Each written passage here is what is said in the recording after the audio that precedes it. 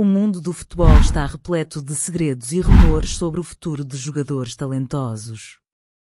Alguns nomes são mencionados em conversas de bastidores, enquanto outros são mantidos em segredo.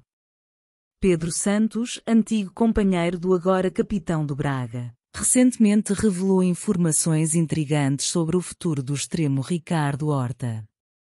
Será que ele está prestes a deixar o clube para seguir novos desafios? Estás a assistir à notícia e ainda não deste o like?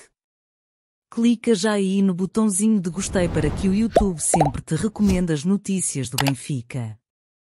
Pedro Santos afirmou que viu Ricardo Horta próximo da MLS e do Benfica durante a última época, mas está convencido de que o extremo está totalmente concentrado no seu desempenho no Braga.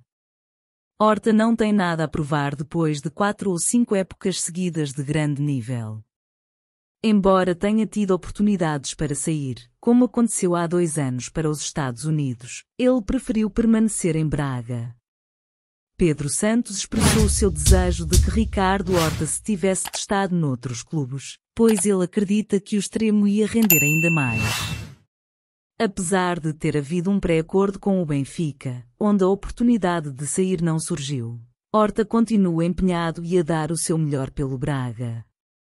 Pedro Santos acha que Horta merecia ter uma chance de sair para um clube maior, mas admite que o jogador está atualmente num grande clube e luta por títulos em Braga.